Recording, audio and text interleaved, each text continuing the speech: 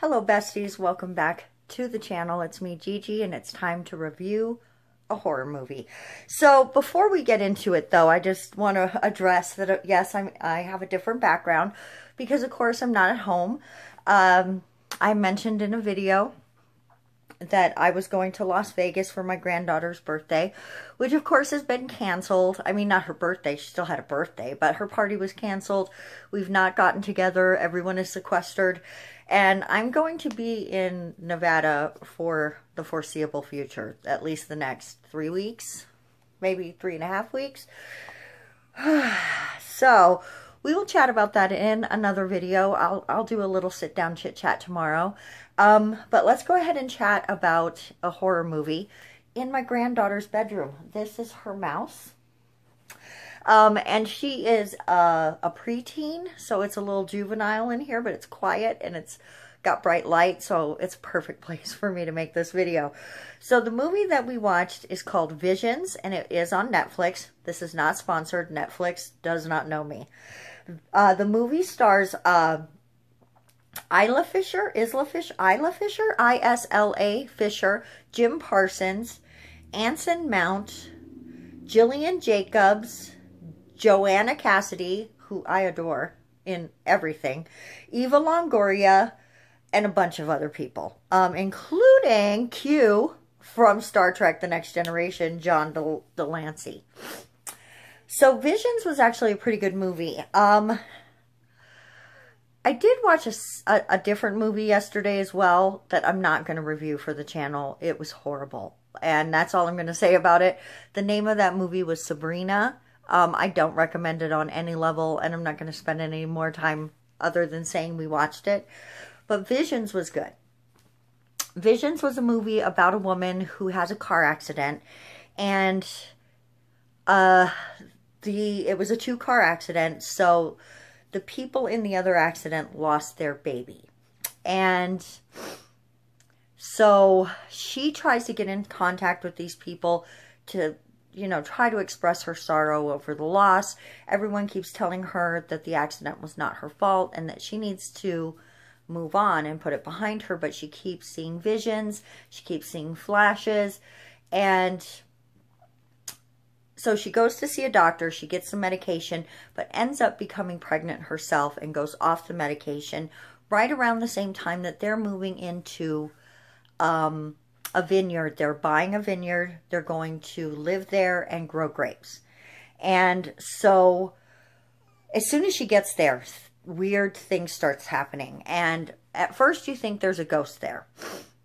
But it's not really, it is and it isn't. I actually do not want to give away this movie. It is so good. Just on the off chance. I don't want to say it's so good, but the twist is interesting. And I don't want to give it away in this video.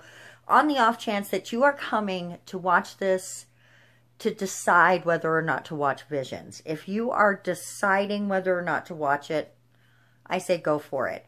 It is not going to ever be on the top 10 list of my favorite horror movies? No. It's probably not even going to top the top 100. No.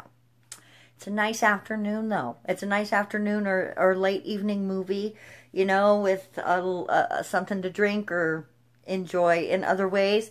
And just, you know, some popcorn and some good fun. Because it's not it's not so scary that, that I watched it with my 11 year old granddaughter. So it's not so scary that a kid couldn't enjoy it, but it's not boring. So uh, uh, an adult wouldn't enjoy it. it. It's it's a good it's a good enjoyable flick. Um, all throughout the movie, everyone around uh, Sadie, no, not Sadie. I'm sorry. Everyone around uh, Evie, Evie, um, keeps just assuring her that this is just trauma from the accident. You're still upset. You need to just keep taking the medicine even though you're pregnant. And her doctor, Jim Parsons, keeps telling her, you're fine. This has low side effects. It's not going to hurt your baby. I would not go on antidepressants if I were pregnant. I wouldn't care what it was. Okay. But, um, she goes on it for a while and it seems like everything settles down. She has this other friend who's pregnant who's like, you can't do this to your baby. You have to do what's best for your baby. And the whole time she's talking to this woman, you have a, a weird feeling about her. so, I, I, like I said, I really don't want to give this movie away in this. I want to try to make this a spoiler free review. We don't normally do that. But I just really feel like if somebody stumbles across this video and decides to go watch Visions, I don't want to ruin the couple of little twists and turns that there are. And there are, are little hints throughout the whole movie that are telling you it's not what you think it is. We're, we're presenting this to you as a classic horror, or rather, supernatural ghost thriller.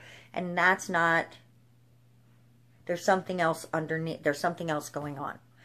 And that something else is a little interesting.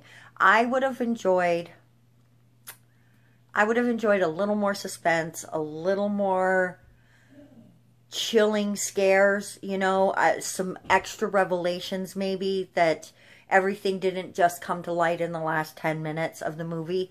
So, um, in that, I felt like it was a little weak in the plotting, in the way that they put the movie together. But all in all, it's pretty enjoyable. So that's what I'm going to say. I, I enjoyed it. My granddaughter actually gives this movie a four on the one out of five scale. I'm going to step back a little from that score and say I give it a three. I thought about just going 2.5 to put it smack in the middle. It's fine.